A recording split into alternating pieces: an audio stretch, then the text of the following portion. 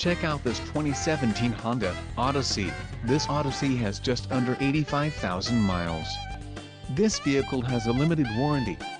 This vehicle gets an estimated 19 miles per gallon in the city, and an estimated 27 on the highway. This Odyssey boasts a 3.5-liter engine, and has an automatic transmission.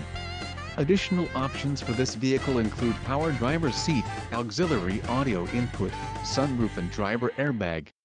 Call 201-200-1100 or email our friendly sales staff today to schedule a test drive.